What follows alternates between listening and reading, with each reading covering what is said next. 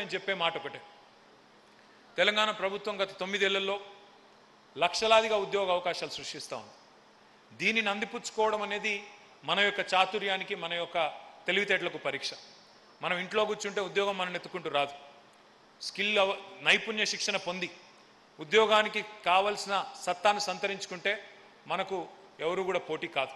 ముఖ్యంగా కంపెనీలు కూడా ఏం చూస్తాయంటే పరిశ్రమలు కూడా ఏం చూస్తాయంటే స్థానికంగా ఉండే పిల్లలు వాళ్ళు కనుక దగ్గరగా నివాసం ఉండి వాళ్ళే కనుక వచ్చి పోయే వాళ్ళైతే మాకు కూడా ఈజీగా ఉంటుందని వాళ్ళు కూడా చూస్తారు. కాబట్టి దయచేసి నేను మిమ్మల్ని అందరినీ కోరేది జైరాబాద్ ఎమ్మెల్యే గారు ఇక్కడే ఉన్నారు మా డీసీఎంఎస్ అధ్యక్షులు ఉన్నారు ఇతర నాయకులు చాలామంది ఉన్నారు జెడ్పీటీసీలు మున్సిపల్ చైర్మన్లు అందరూ కూడా ఉన్నారు. మీ అందరినీ కూడా నేను కోరుతా ఉన్నాను. అవసరమైతే మీరు ఇక్కడ ప్రభుత్వం బీబీ పాటిల్ గారు కూడా మీ ఎంపీ గారు కూడా స్వయంగా పారిశ్రామికవేత్త మీ కలెక్టర్ గారు కూడా శరత్ గారు ఇక్కడే ఉన్నారు. లోకల్గా జైరాబాద్లోనే ఒక స్కిల్లింగ్ సెంటర్ కూడా ఇక్కడే పెట్టి ప్రభుత్వ ఖర్చుతో చక్కగా మనం ఈ అవకాశాలన్నీ అందిపుచ్చుకోవాలని నేను కోరుతా ఉన్నాను. ఎలక్ట్రిక్ వాహనాలకు సంబంధించి ఎలక్ట్రిక్ వాహనాలకు సంబంధించి భారతదేశంలో కాదు ప్రపంచవ్యాప్తంగా ఉజ్వలమైన భవిష్యత్తు ఉంది. ఎందుకంటే ఈరోజు మనం చూస్తూ ఉన్నాం ఎండాకాలంలో విపరీతమైన ఎండలు. మరి వానాకాలంలో వానలు టైంకు రావు. మొత్తం ఓవరాల్గా చూసినట్టయితే వాతావరణ సమతుల్యత పర్యావరణ సమతుల్యత దెబ్బతింటా ఉంది. దీనికి ప్రధాన కారణం కార్బన్ ఎమిషన్స్ దీనికి ప్రధాన కారణం గ్లోబల్ వార్మింగ్. మరి ఇవన్నీ పోవాలి అంటే డీకార్బనైజేషన్ జరగాలి. డీకార్బనైజేషన్ అంటే కార్బన్ ఎమిషన్స్ లేని వాహనాలు.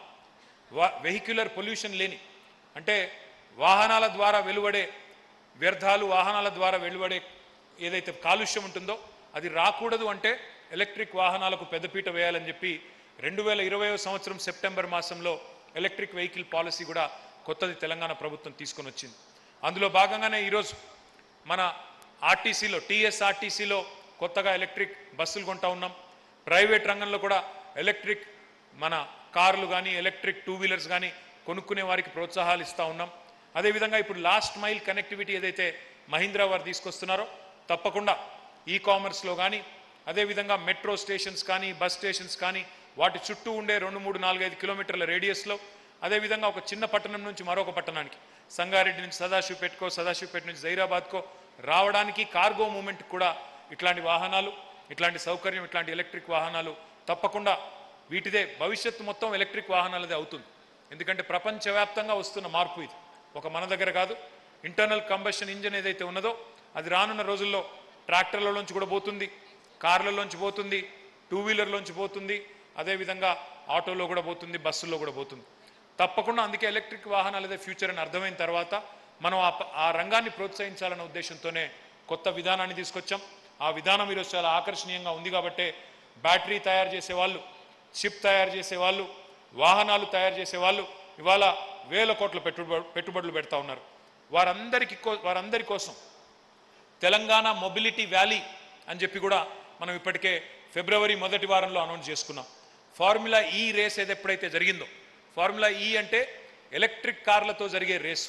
ఆ ఎలక్ట్రిక్ కార్లతో జరిగే రేసులో మొట్టమొదటిసారి ఇండియాలో జరుగుతున్నప్పుడు హైదరాబాద్నే వాళ్ళు ఎంచుకొని ఇక్కడికి రావడం జరిగింది. ఆ సందర్భంగా ఎలక్ట్రిక్ వెహికల్ యొక్క సమిట్ కూడా పెట్టాం. ఎలక్ట్రిక్ మొబిలిటీ వీక్ అని చెప్పి పెట్టి అందులో భాగంగా చాలా ఒప్పందాలు కూడా కుదుర్చుకోవడం జరిగింది. ఆ క్రమంలో తెలంగాణ మొబిలిటీ వ్యాలీ అని అనౌన్స్ చేసినాం. ఆ మొబిలిటీ వ్యాలీలో మూడు భాగాలు ఉన్నాయి. ఒకటి జహీరాబాద్ రెండవది దివిటిపల్లి మహబూబ్ నగర్లో మూడవది వికారాబాద్ జిల్లాలోని ఎన్కాతల అనే ప్లేస్ ఈ మూడు చోట్ల కూడా ఒక దగ్గర ఇన్నోవేషన్ మరొక దగ్గర రీసెర్చ్ డెవలప్మెంటు బ్యాటరీ మేకింగ్ ఇక్కడ జహీరాబాద్లోనేమో మ్యానుఫ్యాక్చరింగ్కి పెద్దపీట వేస్తూ మరి ఈ రకంగా తెలంగాణ ప్రభుత్వం ఒక ప్రణాళికతో గౌరవ ముఖ్యమంత్రి గారి ఆదేశం మేరకు ప్రణాళికబద్ధమైన అభివృద్ధిని కోరుకుంటా ఉంది. ఇందులో మ్యానుఫ్యాక్చరింగ్ జరగాలి ఇన్నోవేషన్ జరగాలి రీసెర్చ్ అండ్ డెవలప్మెంట్ జరగాలి సెల్ మేకింగ్ బ్యాటరీ మేకింగ్ కూడా ఇక్కడే జరగాలి మొత్తం ఈకో సిస్టమ్ కూడా ఇక్కడే వచ్చినట్టయితే మనకి ఇక్కడ బస్సులు తయారవుతాయి కార్లు తయారవుతాయి ఆటోలు తయారవుతాయి టూ వీలర్స్ తయారవుతాయి. అన్నిటికీ కూడా భారతదేశంలో ఎలక్ట్రిక్ వాహనాలకు తెలంగాణ ఒక ప్రధాన స్థావరంగా ఒక అడ్డాగా మారాలన్న లక్ష్యంతో కేసీఆర్ గారి ఆదేశం మేరకు తెలంగాణ యువతకి ఉపాధి సృష్టించే దిశగా ప్రభుత్వం చిత్తశుద్ధితో తన ప్రయత్నాన్ని కొనసాగిస్తుంది. తప్పకుండా మహీంద్రా యూనిట్ ఏదైతే ఈరోజు ప్రారంభమవుతున్నదో శంకుస్థాపన జరిగిందో అందరికీ హృదయపూర్వకమైన శుభాకాంక్షలు. స్థానిక యువత ముఖ్యంగా ఈ అవకాశాన్ని అందిపుచ్చుకోవాలని మళ్ళొక్కసారి విజ్ఞప్తి చేస్తూ నాకు ఈ అవకాశం ఇచ్చినందుకు I thank uh, Suman Mishraji and entire team of Mahindra. All I'm requesting you ma'am is to ensure the government of Telangana's proposed Telangana mobility valley you know of which now you become a part of because Zaheerabad is one of the other important clusters which is going to be a manufacturing hub We'll also have an innovation and research and development hub, one in Divitipalli, another one in Yankatala in Vikharabad district. All these three disparate locations together will be India's largest mobility valley.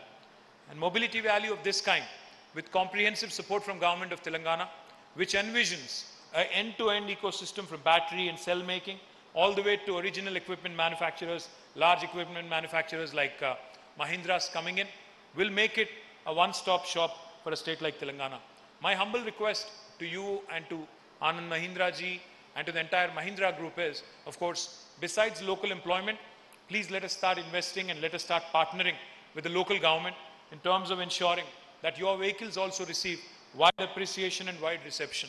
I'm looking for vehicles in my municipalities. I'm looking for sanitation vehicles. I'm also looking for vehicles which can ferry people from the last, you know, uh, for the last mile, metro station and even bus stations. So please work with the local government.